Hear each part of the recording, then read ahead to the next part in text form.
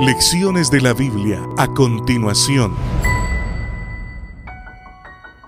La lección bíblica para el día de hoy lleva por título Los sueños de Faraón. Vamos a Génesis capítulo 41 y los versículos del 1 al 7. Dicen estos versículos. Al cabo de dos años, Faraón tuvo un sueño.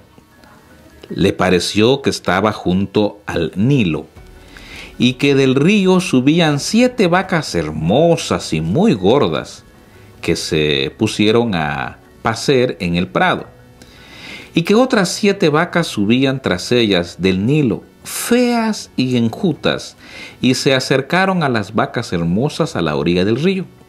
Y las vacas feas y enjutas devoraban a las siete vacas hermosas y muy gordas. Y despertó Faraón. De nuevo se durmió y tuvo un segundo sueño.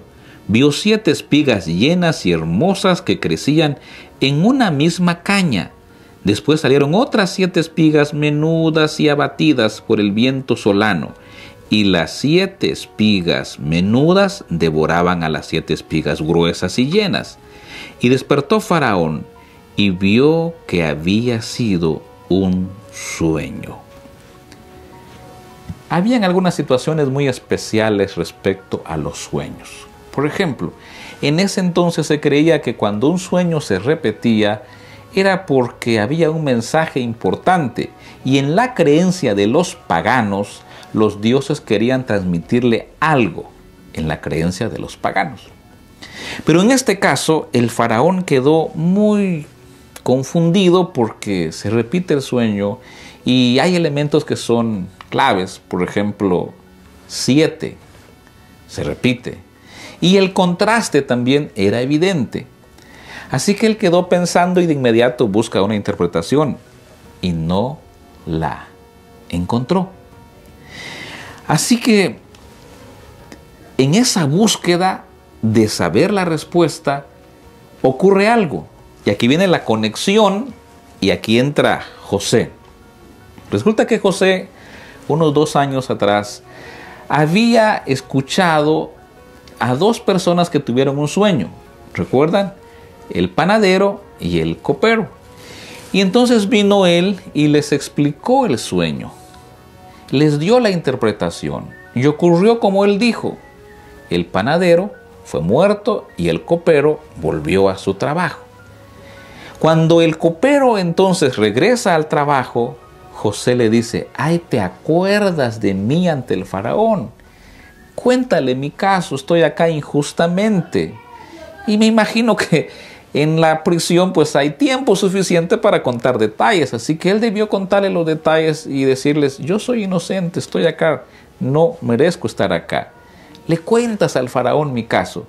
Pero una vez obtenida la libertad, este hombre no se acordó hasta en ese momento él dijo, bueno, hace un tiempo atrás realmente alguien me interpretó el sueño y le dijo quién era. De inmediato, dice el capítulo, que mandaron a llamar entonces a este José para que viniera y para que, bueno, interpretara sueños. Y aquí viene algo muy interesante. Cuando él se presenta ante el faraón, él hace algunas cosas, me refiero a José. Uno, fue y se presentó de una manera, pues, acorde a la ocasión. Se iba a presentar ante el faraón, así que él fue, se arregló y se presentó.